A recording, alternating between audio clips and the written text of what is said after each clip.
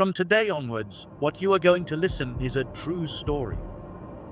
Yours, mine, and the story of all of our lives. A story about a wonderful past, present, and of a wonderful future. This story starts from when there was nothing, and it will end when there will be nothing left from the skies to the earth, and whatever is in between them stars, planets, and the sun, time, and all those creations which we call the universe in our language. Today we will start a journey. A journey to explore this universe who created it, what is hidden inside it, and a small planet which we call our world. What has happened in it? What will happen in it? A journey to explore all of that.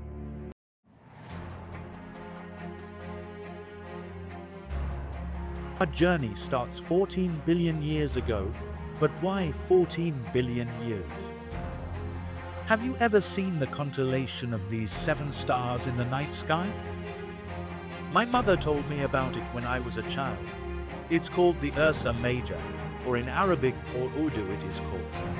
The Bar from this constellation is visible almost every night, and if your eyes were to be the most powerful telescope in the world, then you would have been able to See a tiny red blob above this central star. This is the GNZ 11, the farthest known galaxy so far, trillions of stars in a form of a mere red blob, and on such a distance from us that the light, which is the fastest thing there is, and left its surface, takes 14 billion years to reach us. It makes at least one thing clear that in our journey, we can go this far at least, but the 99.9985% of this 14 billion years is before the time of humans. Humans emerged only in the last few seconds of this cosmological time scale then. How shall we be able to see the birth of the universe? To see this, free yourself from the chains of time. And come with me. We will explore all that knowledge which will tell us the true story of all the creation.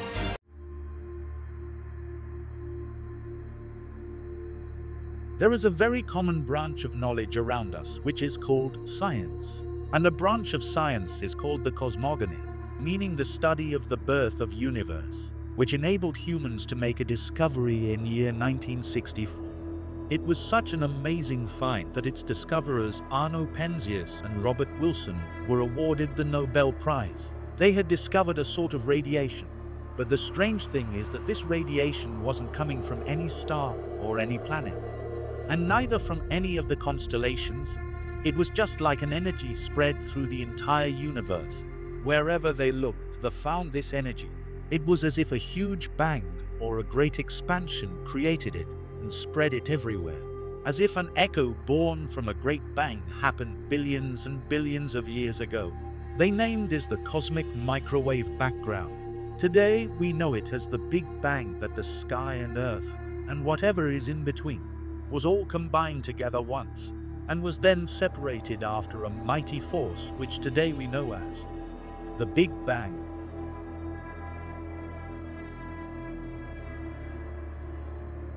But this discovery also came with a big problem, which is known as the horizon problem. The problem is that sometimes we see this energy spread as far as 46 billion light years and in some parts of the sky, just 0.3 million light years. It can only mean one thing that the light is traveling on different speeds in the different parts of the universe, which seems impossible. It seems to break all the known laws of physics in the nature as we know it. Light has only one speed, approximately 300,000 kilometers slash s. But if it was true that light travels at different speeds in different regions of the universe, then we must accept that. The time present in those regions will also be passing differently. At this point, one starts to realize that science also has its limitations. But who can blame science? It is only a few hundred years old knowledge.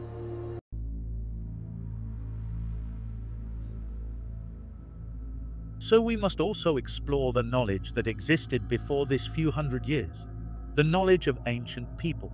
And to explore the knowledge of ancient people, we will have to go far back in time. Much, much far back. It happened 173 years ago. In year 1849, that an archaeologist in Nineveh, called Austen Henry, discovered some clay tablets, the tablets that were used thousands of years ago for writing. Austen Henry named those tablets Enuma Elish. It contained a story written on seven tablets, three and a half thousand years ago, and in which people are talking about the creation of the universe. And they say that when there was no sky, and when there was no earth, when there was neither any tree nor any bog, and it was all just water, there was no human, and there was no destiny written. At that time, there was an order from the God. Now this is something very interesting, and if we study the entire text of 1,000 lines, we will realize that before anything was created, they speak about the presence of water. Lots and lots of water. Further, it speaks about an eternal garden and the creation of human and its soul which descended from the sky. But probably the most interesting thing in this text is a word from its Greek translation called logos, meaning something that was said. That means when God wanted to create it something. He said something, but what did he say? These tablets do not speak of it.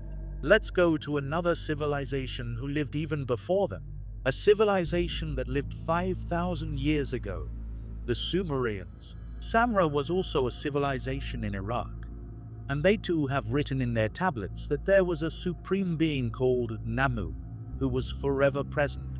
Namu created the skies and the earths from the great water, and don't think that the Sumerians are to be taken lightly. Sumerians were the oldest civilization that we know of. In today's world, there are at least a hundred different inventions that we use, which were made by Sumerians, for example. First ever text was written by Sumerians, the first ever clock, first ever irrigation system, and even first ever geometrical system was invented by Sumerians. Let's say that only two civilizations are not enough. So we look at a third civilization, 3,000 years old Egypt, which was a superpower of its time. They too speak of Nun, who created skies and the earths from a massive stormy ocean of water, an ocean of water which was completely hidden in dark. The Greeks, who too speak about the creation from a black sea of water called Okeanos, 2,300 years ago. But one can say that these civilizations lived closer to each other, and neither many years apart. It is possible that they might have learned these concepts from each other. Then let me take you to civilizations which lived very far from them. The Aboriginal people from Australia. According to the Aborigines, there was a Lord of all the souls, who was all alone. He created light and gave life to the earth. Even farther from the Aboriginals, the Daoist mythology from China. They too speak of a god who separated the huge waters from each other, who placed mountains where they are, and he did it with his knowledge and with the words he said. Korean mythology of Cheonjiwang after China also speaks about the unified skies and earths at some point in the past. Now we are left with just two continents, so let's have a look into their cultures. Mande mythology from West Africa and Yoruba mythology from Central Africa. Both of them speak about a mighty power that was all alone, and then he created everything from water.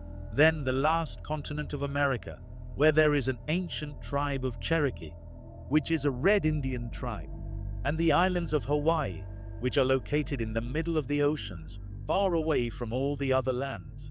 They also talk about skies and earths created from waters in seven days. And lastly, a country in Europe called Finland, where they still talk about Vainamoinen, how he created everything from water. You must have noticed by now that I'm telling you cultures thousands of miles away and thousands of years apart from each other. But there was a problem in all those mythologies. There were some concepts pretty ridiculous in them, for example. There was a concept of Earth bound in golden chains after it was created. Or as in Finland, where a crow comes in and helps Vainamoinen to create the universe. We all know that Earth is not chained with any golden chain, and neither the creation of this universe was the work of any crow. So I filtered all these ridiculous things and studied these cultures with the similarities they have with each others, and I noticed that the common concept is always the same word by word. A mighty force called the God. He was all alone, and there was no one else other than him. He was the one who created everything from water, and it happened in six or seven days.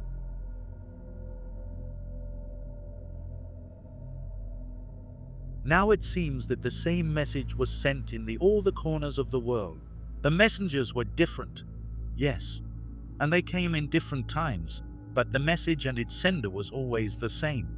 It proves one thing that there is a branch of knowledge besides science in which 85% people of the planet believe somehow, and that knowledge is called religion. But which religion? Is a big question. There are 3,000 different religions in the world today, and all of them claim to be the right one.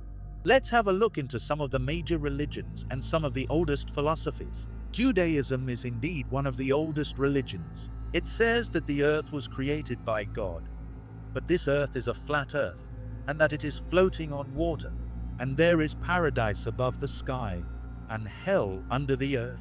And then Christianity, the largest religion in the world today. They too say that God created the universe. But according to them, all the stars, sun, and everything is rotating around our world. And all of the creation was done just six and a half thousand years ago, and one the seventh day. The God rested. The Greek philosophy is two and a half thousand years old and is still influential today. The Greeks too believed in a godly creation of this universe, but they also believed that a goddess called Andromeda flew into the sky, and wherever she flew, her milk was spilled, and it created a milky starry way. Even today, we know this path with the same name, the Milky Way, suggested by the Greeks, then the Hinduism, Jainism, Buddhism, they're all ancient religions, but insist that the universe has no beginning or an end. It was always there, and it will always be there. But wait a moment and look back on these concepts.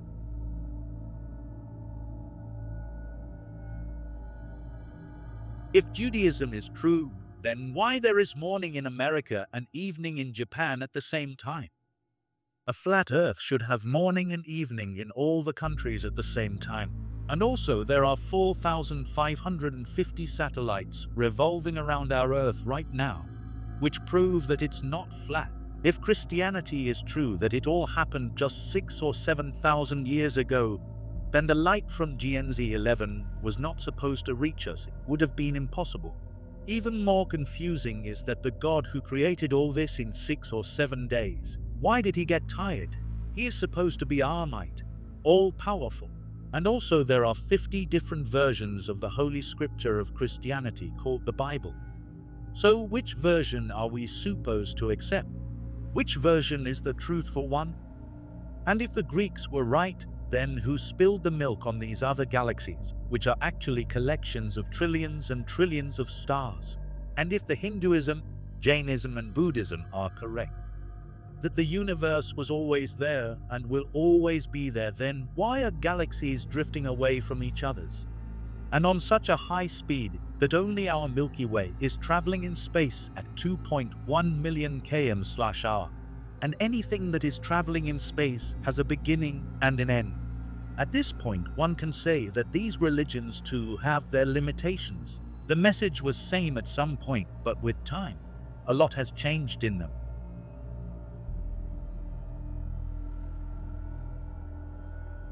But I have yet to tell you about one certain religion the only religion which has claimed that there are no lies in it. About 1400 years ago, there emerged a religion in Arab, which is called the Islam. Within only a few years, this religion spread into entire Arabia and eventually in the whole world. And today, Islam is the second largest religion of the world. Islam too has a similar concept of creation in its holy book Quran. For example, Surah Hud God is the one who created skies and the earth in six days, and his throne was on the waters. It seems as if the message in Quran was sent by the same being, but there is something that sets Quran apart from others. A claim. That was claimed in Quran, a claim in the very beginning of Quran, Surah Baqarah. It is a book in which there is no doubt now that is a serious claim, and people like us who want to discover the truth we will test this claim to be right or wrong. Good thing is that this is the only book which has no other versions in the whole world. One book, one version, and one claim neither cosmogony ever made this claim, nor any of the historical tablets, or any culture, or any other religion. We will also check the concepts of creation of the man who introduced this religion, Muhammad bin Abdullah, which is there in the collection of his sayings called Hadith. Abu Razin reports that he asked Muhammad, Where was our God before the creation of everything? And he replied that God was neither in time or space, and there was nothing above or below him.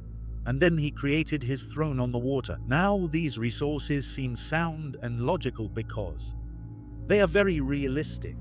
They have the concept of time and space. They have the concept of nothingness. So we must look further into these resources and see where do they take us. And to explore it further, our major sources shall be two. The Holy Book of Islam, called Al-Quran, and the person who lived in Arabia, the last messenger of all the messenger, called Prophet Muhammad.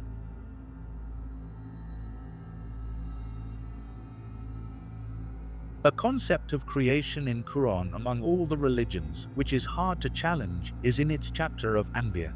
That do disbelievers not see that earth and sky were together, and we separated them, and we created all living things from water.